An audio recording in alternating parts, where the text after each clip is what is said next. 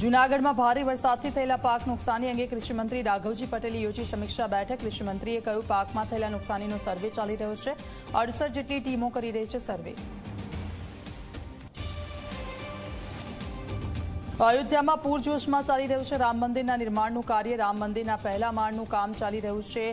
ચોવીસ જાન્યુઆરી બે હજાર ચોવીસના દિવસે થશે પ્રાણ પ્રતિષ્ઠા.